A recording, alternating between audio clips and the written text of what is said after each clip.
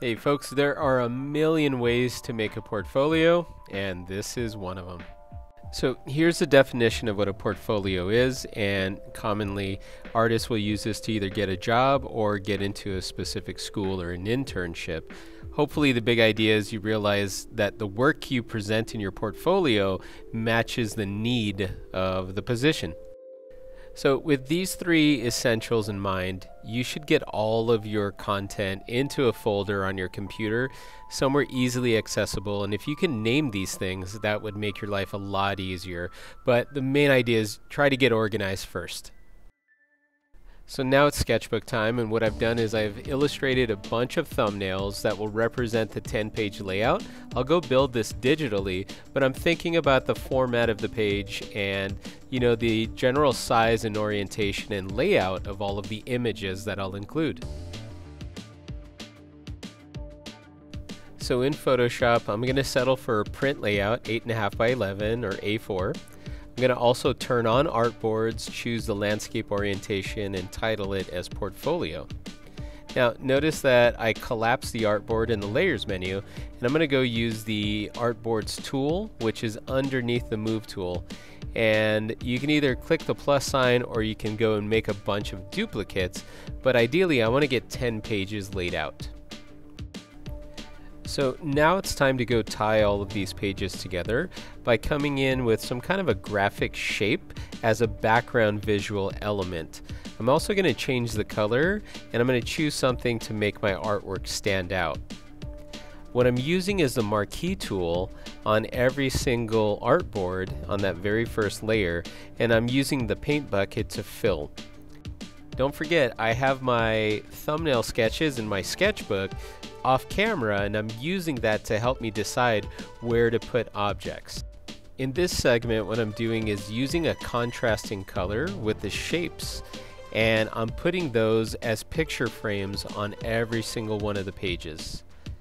Keep in mind that in the layers menu, I'm constantly going back and making sure that I have the correct artboard selected and again, um, I have a reference on my sketchbook off camera, but I have an idea of where I'm going to put a text box, and I have an idea of the general size and shape of each of the boxes.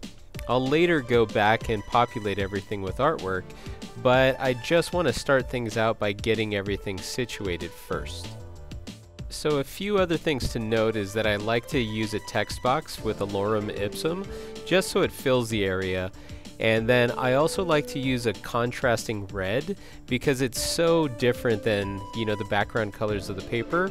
So when I start populating everything, if it's not bright red, then I know that I've already done my job.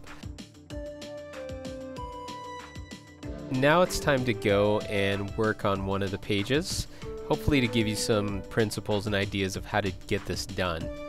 Um, what I'll do is I'll get all of the artwork in there and I like to rename it in the layer menu. I'll also duplicate that artwork and put it into a folder just so I have an extra copy just in case. When it's time to actually position the artwork, I'll go and drag the layers around and put some stuff together. I'll rotate it accordingly and I'll apply a clipping mask so that the original artwork will clip to that right red box that I originally had set up. Later, I'll go back and I'll adjust the brightness and the contrast and I'll also go and clean up some of the artwork. So if I have to use like the, the clone tool or the patch tool, I'll go and hide some of the details that I don't want to be visible. So I originally had intended to have three images on this page, but as I'm moving artwork around, I'm starting to realize the, I guess the, the proportion and the shape of the, you know, the drawings that I have, they're not really going to fit. So this is a good time for you to go and, you know, modify your approach. So in this segment, what I'm going to do is I'm going to go and change the size and shape of that one red box and then I'm going to duplicate that again.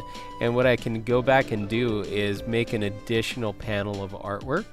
And you know if you want to get it perfect go and use some guidelines and drag those around. So when you use the shape tool you can make another one. And then you can go and find that original piece of artwork and get it to clip appropriately. And uh, it's just a nifty tool to be able to go and make things happen.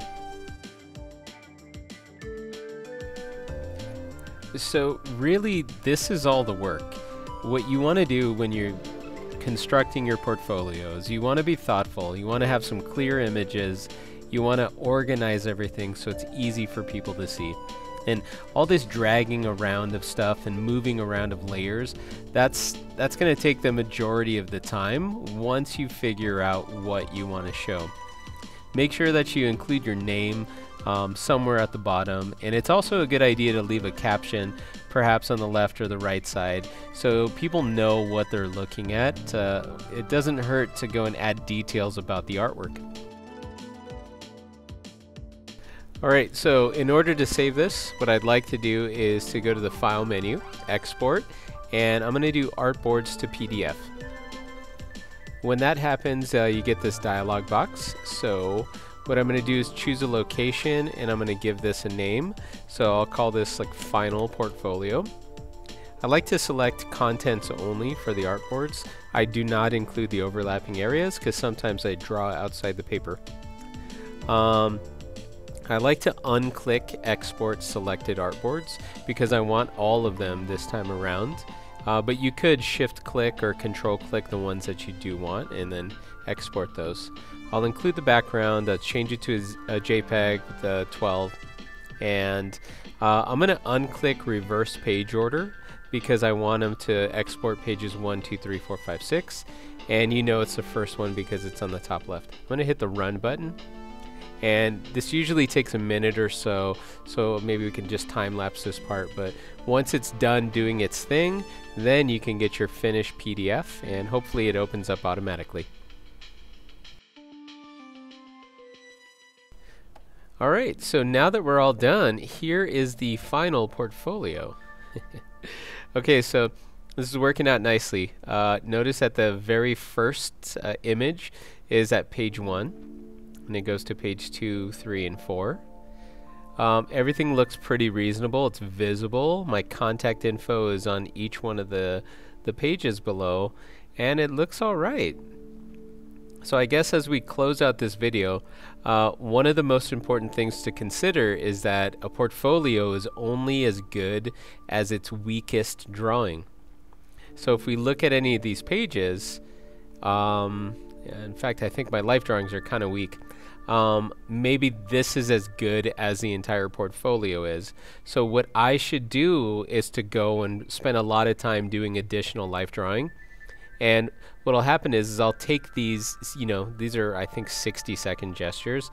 Um, I'll take these guys out and replace them with other 60 second gestures that are better or if this life drawing is not really working for me um, and even though I wanted to show process right here maybe what I want to do is to try something with charcoal um, where I could do a much better job of it and then to get that in here by swapping this out.